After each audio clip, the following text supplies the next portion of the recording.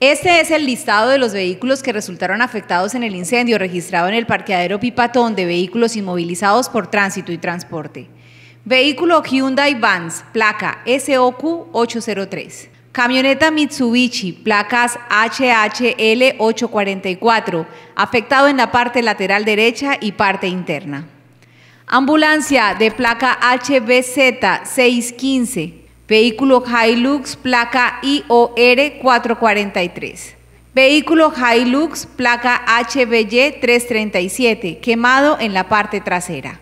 Vehículo de placa BXN 443, quemado con farola delantera.